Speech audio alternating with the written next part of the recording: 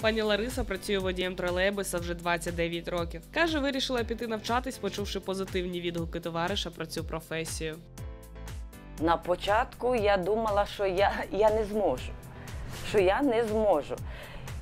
У мене був е, водій-інструктор, все він замічав, хто де йде, яка машина поїхала.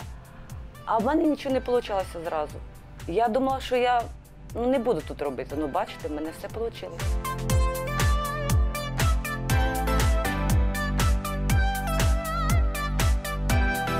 Навчалась пані Лариса в рідному місті Вінниця. По закінченні навчання за направленням від професійного училища приїхала працювати до Запоріжжя. Рідні та знайомі відреагували на вибір професії досить передбачувано.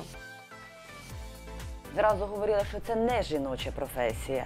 Як сестра моя зараз каже, що всім знайомим розповідає, і він з гордістю, що її сестра працює вже 29 років водієм тролейбуса.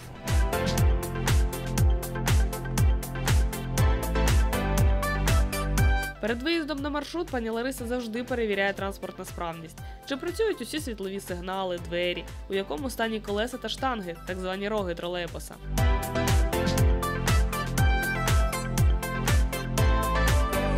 Останні два роки Лариса працює на автономному тролейбусі. Каже, головною перевагою є відсутність необхідності в підключенні транспорту до мережі. Таким чином, у водіїв є можливість об'їхати будь-які перепони на дорозі, аварії, форс-мажорні ситуації або ремонтні роботи. Наша героїня каже, роботу свою любить і ніколи не замислювалась про зміну професії.